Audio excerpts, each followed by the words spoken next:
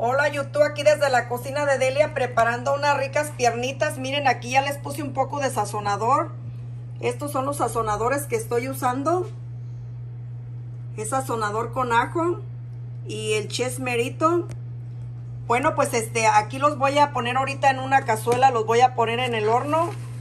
Los voy a poner por unos 40 minutos porque voy a hacer un rico arroz y quiero que se cosan este un poco para ponerlas este, precocidas en el arroz y va a salir un arroz muy sabroso.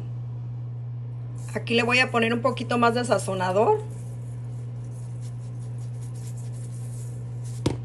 Poquito más ajo. Ahorita tapamos y llevamos al horno. El horno ya está bien caliente y ya el pollo ya está tapado aquí en la olla y lo voy a dejar este que se cosa. Ya les diré el siguiente paso.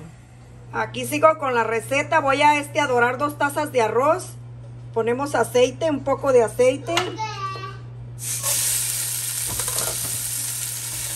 Aquí doramos el arroz hasta que esté bien doradito. Ya les digo el siguiente paso. Mientras se dora el arroz, voy a poner tres tazas de agua. Un pedazo de cebolla. Y dos jitomates bien maduritos. De los que tengan está bien. Y también voy a poner un ajo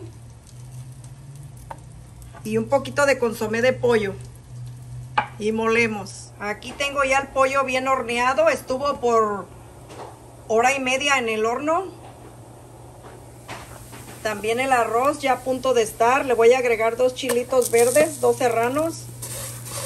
Y ahorita le voy a agregar este, el jitomate que molí con el ajo y la cebolla. Aquí ya agregué el pollo y ahora voy a agregar este líquido que molí.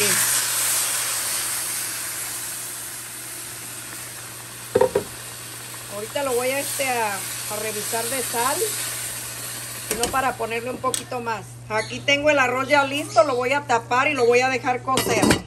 Ya se los mostraré cuando esté listo. El arroz listo. Destapamos y vamos a servir. El pollo en, en arroz ha estado listo. Miren qué sabroso se ve.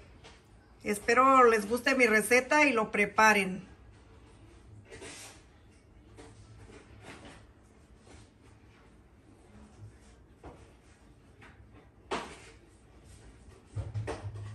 Ahí está.